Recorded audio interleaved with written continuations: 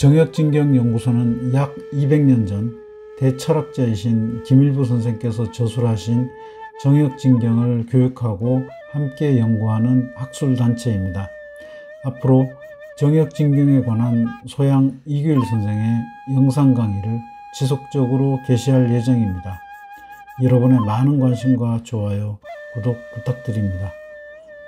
역경의 양과 음은 아라비아 숫자의 1과 0으로 나타낼 수가 있고 1은 꽉 차 있는 한 점, 0은 텅 비어 있는 공으로 형성할 수가 있습니다. 1과 0은 공간적으로는 1이 0을 감싸고 0은 1을 머금습니다.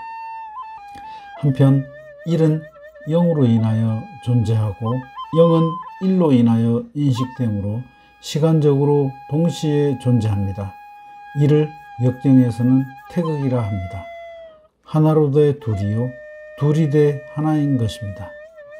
우주 구성 요소의 최소 단위인 1과 0은 양과 음, 합과 분, 생과 멸, 진과 퇴, 신과 굴, 색과 공, 생과 사, 청과 지, 시와 공, 동과 정, 유와 무 등으로 유형화되며 양효와 음효의 상으로 표현될 수 있습니다.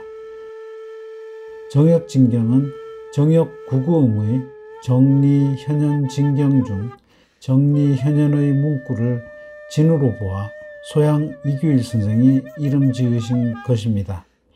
정역진경은 15일원과 11일원으로 구성되어 있습니다. 15일원은 천지와 내가 한 몸이며 주관 5와 객관 10이 같음을 나타낸 것입니다. 15일원의 이치로부터 11, 10, 01, 00의 사상과 천체 1, 천용 3, 지용 2, 지체 4의 천지체용의 이치가 정립이 됩니다. 11일원은 우주 전체인 12, 최초의 한정과 같음을 나타낸 것으로 만물의 작용하는 이치를 나타낸 것입니다. 11일원의 이치로부터 굴신의 도가 정립이 됩니다.